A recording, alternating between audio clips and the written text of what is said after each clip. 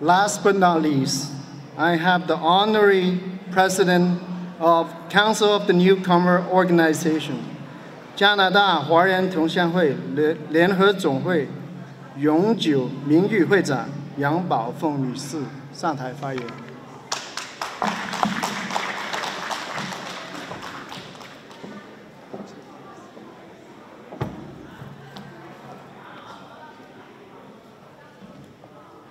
嗯，尊敬的各位嘉宾、各位来宾，呃，大家应该是早晨好、上午好啊。那个，我在这儿呢，仅代表加拿大同乡会联合总会和北京协会，非常高兴参加我们这个盛会。因为这个文化节哈，好像我参加过几届吧，他们每次都邀请来。殷老师应该我见过，我也到北京去找过您。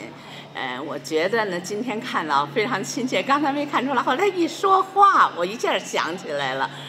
嗯，第一届来还有几个老人家，我现在都记得记忆犹新。是他们在传播着中国文化，是他们走遍了世界各地，把我们的中国文化艺术带到世界各地。我们的我们旅居海外的华人，我觉得我们的任务和责任更加重大。我也希望我们同乡总会的，因为这同乡总会是全省、全国各个省市的同乡会，每一个人应该每一个中国人应该把自己的知识文化，要把中国的国粹国宝带到世界各个角落。谢谢大家。